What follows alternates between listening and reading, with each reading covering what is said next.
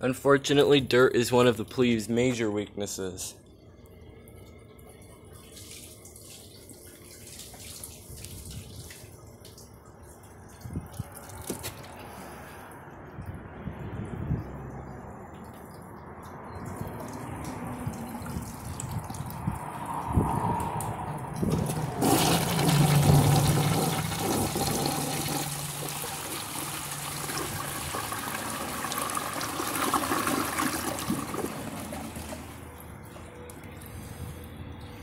I swear it failed this exact test another different time. I don't know how it managed to do it this time, but that's pretty amazing, even though it still left some behind.